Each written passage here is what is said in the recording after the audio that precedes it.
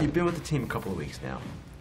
So, what is the biggest difference you've noticed just between the vibe here and what it was like with the Nationals? Yeah, um, you know, I had some great years in, with the Nationals, great years in DC, and uh, I love all those guys over there. Um, you know, the staff and Mike Rizzo, the GM, um, our training staff, everything, and uh, it was great. You know, I had an absolute blast for those seven years um, that I was there, and um, you know, I wish them you know nothing but the best. Um, but now turning the page to Philly, um, very excited. You know, I think uh, walking into the clubhouse day one, you never know you know what it's going to be like, and uh, you know, there's a fear. You know, there's definitely a fear of knowing a place for seven years, and that's the only thing you know. And then you come to a new team in a you know new city and things like that, and uh, you know it's like a family. I mean, you really the first day I walked in, it was open arms, whatever I needed, um, and anything to make me comfortable and um, you know happy. They were they were definitely uh, all ears for that. So. Um, everybody's very genuine. Uh, we have a lot of fun, and uh, you know I think we're going to keep having fun as a team and uh, enjoying it. Outside of your well-known favorite, JT Realmuto, what player has impressed you the most? Uh, you know, I really like Jean Segura. You know, he I think he's one of the most underrated shortstops in the game. Um, you know, he's a guy that hits for average every single year, hits for power. Um, he's an all-star player, and uh, he's just a you know he's a very good guy. He plays 155 to 162 games a year, and uh, he's a grinder. You know, you know what you're going to get out of him, and uh, you know what he's going to do. So um, he's been great. I mean, uh, Jake Arrieta has been awesome You to have a veteran guy like that. Um, he's a winner. He's a proven winner. Um, very good on the postseason, postseason as well. You know, Aaron Nola, of course. I'm glad I don't have to face him anymore. Um, Hoskins, you know, he's he's mature beyond his years. So, um, very excited about the team that we have. Um, got a lot of really good ball players and uh, great staff as well, and uh, you know, just looking forward to it. You mentioned Nola. what will it be like for you not having to face him anymore? Oh man, it's gonna be great. You know, he's got uh, the heater that's different. You know, he's got the curveball that just hits a wall, and you know, is strike three usually. And uh, you know, he has the changeups that's you know electrifying as well. So um, all of his pitches are plus plus. He's just getting better each year. He had you know breakout year last year. Um, had a great you know 2018 campaign, and uh, you know signed that extension here for you know a couple more years, and uh, very excited about that to be able to you know play alongside him for a couple more years as well. Um, very young, so um, looking forward to that. Looking forward to you know seeing seeing him be Aaron Nola and uh, being the Aaron Nola that we know. The lineup. It's deep. How good do you think it can be? Uh, you know, I think it can be really good. You know, I said at the press conference, uh, you know, a couple weeks back. You know, you as a team, we have to grow. We have to understand what kind of team we want to be, and uh, you know, it starts with ownership all the way down to us. Um, you know, with John and um, you know the way he runs his team and his franchise, he wants to win, and you can see that. You can see that when you talk to him, and you know he understands what it takes to win and understands how to how to win and go about it. Um, you know, he grew up being a wrestler and you know going through those grinds of being a collegiate athlete. Um, so he knows how to you know understands that. And then he went through you know the 08 uh, run with them, the 09 run with them, and he understands you know what it, it's like to bring that back to a city. Um, and I think he's craving that a little bit more now as well. So because it has been a little bit you know a little long. So um, you know, I'm very excited for you know that to know that he's going to go out and press the buttons to be able to win, and you know goes down to our GM and all the way down to our manager and all the way down to us. So um, you know our lineup I think is very strong. You know one through nine I think we're really good. We're very deep, just like you said. Um, you know pitching and defense wins championships. So if our pitching can you know do what they can and our bullpen as well uh, can do what they can and we can score a few runs, um, I think we'll be okay. You mentioned John. You had a few meetings with him during your free agency. What stood out to you? Uh, just the, you know, he was on a personal level every time he talked to me. You know, it didn't matter if he was John Middleton, the owner, or just John. And, uh, you know, that's what I loved about him. You know, something we be able to sit down with him and find common ground and understand what he wanted to do as an organization, what he wanted to do as a franchise. For him to put his trust into me um, and be able to put his trust, you know, my trust into him um, was huge. And from day one, I felt that, you know. So, you know, for me, I wanted that 13-year deal. You know, I wanted a long-term commitment. I wanted to be able to, you know, dig my roots somewhere, build a family somewhere. Um, beyond all the money and things like that, that was what I wanted. And you know, Scott knew that from day one. You know, I had the four-year offers, I had the eight-year offers, 10-year for you know, great amount, of, you know, good amount of money, and they offered me the 13, and I said absolutely, like let's get this thing worked out. And you know that's where I wanted to be. So um, I'm very happy to be in Philly, very excited to be in Philly, and uh, just can't wait. How tough was it to be patient during free agency? This went on for four months. Yeah. You're sitting there just waiting. Yeah, I think Scott uh, at the beginning said, "Hey, we're going to go into March probably." So, I mean, at the beginning of the time, it was like, okay. So I just went about it like it was regular off season, like I was playing for a team, and it didn't really matter. So, um, you know, me and my wife, we went on vacation, did all the things we wanted to do, came back and started to work out, and just acted like I was going to go to spring training when I was going to go to spring training. Um, so, not at any time was I really frustrated or anything like that. It was more the opposite of, okay, well, the baseball side is going to take care of itself when can we ship our cars? Where are we going to live? You know, certain things like that. So, um, you know, if I wouldn't have signed into March or anything like that, then it would have been okay with me. It wasn't like I'm not going to ever play baseball again. So it's, uh, you know, for me, it was like, okay, it's going to take care of itself, and I'll be where I need to be. Now, the Giants were one of the other teams that was in. Their park, as you know, is not nearly as hitter friendly as Citizens Bank.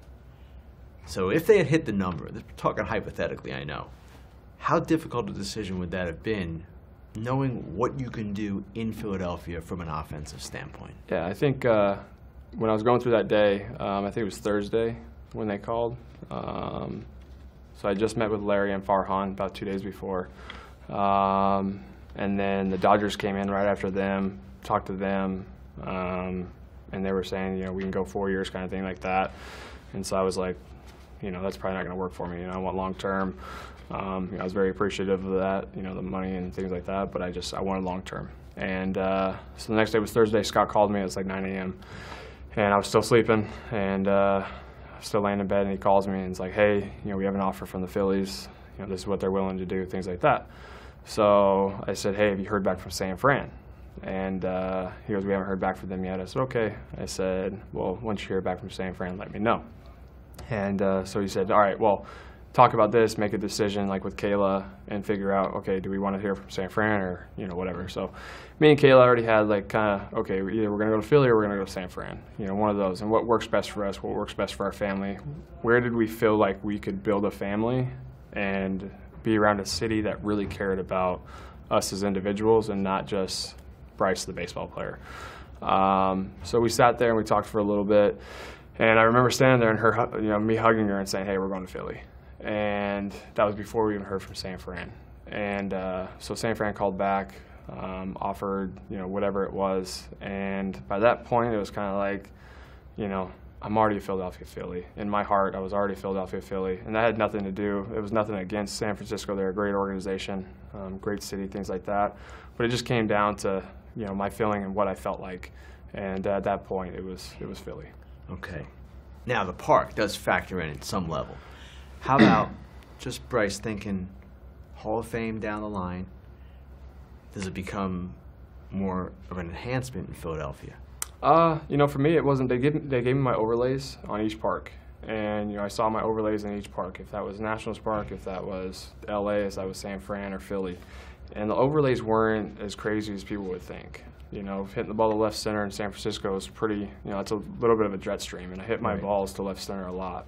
Um, so, I mean, of course, you factor in wind and things like that, or um, cold weather and stuff, but I mean, that was never really a factor. I'm not scared of ballparks. So it was kind of like, okay, well, if I go into San Fran, then it's going to make me a better hitter because I have to stay on the ball. You have triple alleys to right, but if I stay on the ball, hit the ball to left, you know, and then pull my homers to right, I hit tower homers to right, so my line drives to left would have played. Um, so I mean, ballpark wise, it wasn't really, you know, that big of a decision for me. Okay. As you said at the press conference, Scott Boras, your agent, he invented the opt out. And yet you said that you did not want one. Why? Yeah, so at the beginning of the whole thing, Scott was sitting there and we were talking about it, and he, uh, you know, he said, "So what do you want? You know, what do you what do you want as individuals, you and Kayla, as a family?" And uh, you know, I told him, I said, "I want to be somewhere long term. I don't want to have to go through this again. I don't want to have to, you know, uproot my family after four or five years and say, hey, we're going here, um, or hey, Kayla, we got to go here, and this is what we're going to do. Um, and I didn't think that was fair. You know, I didn't think that was fair to a city. I didn't think that was fair to an ownership. For me to just say, okay, four years, I'm done, I'm out of here, and I'm going to go somewhere else. Um, you know, I really wanted to be instilled into a city. I really wanted to be you know, part of the city for a long period of time. And you know, throughout the whole last season, you know, I said that I made that be known. Like, I would love to have went back to DC. I would have loved to have been there my whole career. Um, but it just didn't work out. You know, both sides have to, you know, find common ground. We just weren't able to do that. Um, so, you know, I turned that page and I was like, okay, so where can I go and really understand that I can be there for a long period of time, um, beyond the money and things like that. But being successful as a team, being happy as an individual off the field, um, and for me, that was huge. And so when Scott said, okay, well, you know, opt out would be huge after three years or whatever at 29, um, you know, get back into the market, things like that. I told him, no, I don't want to. I don't want to do it. And he said, okay. He said, then we'll explore the, you know, options that we have and we'll figure it out. So he knew from the beginning I didn't want to be traded, and I didn't, you know, want the opt out at all. I wanted to be able to go through the ups and downs with the city. I wanted to be able to, you know, build my family in a city. I wanted to be able to be instilled into a city, the community, and really let that city know that I'm part of them. And you know, for Philly, it, it means something to put the Phillies across your chest. They understand it. They grind with you, year in and year out, with all their teams. If that's the Eagles, the Sixers, the Flyers and the Phillies. And I think people know that. And for me, you know, the vibe that I got with Philly, it's a big old neighborhood. And these, you know, the people of Philly really understand and instill themselves into their fan bases and really understand the players. And they try to on a personal level. And I love that. And this organization does that as well. And that really fires me up and makes me want to play hard for this city and, you know, do something special for it as well. Now, not to play the role of Scott, but I imagine he might have said to you, or at least I'll ask you, why sacrifice the control? Why not get the opt out and the long term deal? You could have done that. Yeah, but I mean, after three years, how, why would I do that with a team when I'm going? I'm saying, okay, well, I could go for three years, but how much trust can they have in me for that? As much as I put my trust in them, and I'm asking them to trust me, and they're asking me to trust them. So for me, it was about finding that common ground and going, okay, you put your trust into me, I put my trust into you, and this is what we're going to do. I don't want the opt out. There's no reason to. I have all the money in the world to do whatever I want with it, and I have more money than I'll ever know what to do with it. You know what I'm saying? So it wasn't about that. It was about me going to a city and instilling myself into that city and being able to build relationships with the people in that city for that period of time. And I mean, eh, all everybody talked about for the first seven years of my career was he's going to go here, he's going to go there. So for me, it would have been a, you know, kind of for my clubhouse and this clubhouse right now, if I had an opt out after three years, that's all everybody would be talking about. Where's he going to go in three years? He's going to go here in three years. He's going to go here in three years. He's going to go back to DC in three years. So that had no, you know, that had nothing for me. It would have done more damage than good for me, and I just didn't want to be part of that. 330 million, it's a crazy number, obviously. And yet the deal, the AAV, is just over 25 million. Trout's going to be well beyond that, is well beyond that. Manny's beyond that. There are guys coming, and you know this because you're smart and you study this. The guys are going to blow by you. Mookie Betts, Lindor, whatever. Does that bother you? No. I mean, why should it? You know what I'm saying? Like, I'm happy with where I am. I'm in a great city. I'm with a great team. You know, I'm with a great fan base. And, I mean, that's all you can ask for. You know, for me, you know, Arenado was able to stay with the Rockies. Trout was able to stay with the Angels. Mookie's going to stay with the with the you know Red Sox if if they're going to have him, of course. Um, you know Judge hopefully is going to stay with the Yankees. Like that's what you want. You want guys to be able to be there for a long term and a long period of time. You know it's that's what baseball is. It's fun. It's being able to go out there, do whatever you can for your team and your club. Also be able to get paid what you're worth. And for me, I mean, making 26 a year, Phillies are able to go out and get whoever they want as well. So I mean I'm able to go out. We're able to hopefully possibly extend Reese, Real Realmuto, whoever we get, and we're able to build this core, you know, the core four, core five that we're going to have for a long period of time, and be able to do that, and hopefully bring multiple titles back to this city. And you know, for me, that's from day one. That's all I've said. I want to win. I want to be able to be part of the city for a long period of time, and you know, I'm able to make the money that I am and be able to be successful and happy with what I've done. And you know, the best advice that I got from Jason was make a decision and never look back. And that's what I'm going to do. You know, if if Mookie does it, if you know, if Trout does it, I mean, I'm so happy for him. I'm, I'm excited for Trout. I told him that. You know, I texted him and said, hey, man, I'm so excited for you and Jess. I'm happy for you. You deserve it. There's no other player in the league that is more deserving than Mike Trout, and everybody knows that. And so if that's Mookie, if that's Judge, or whoever it is, you know, that's what it's all about. So I'm very happy for them. AAV or anything like that, whatever. I got my years, and at the beginning, that's that's all I wanted. So.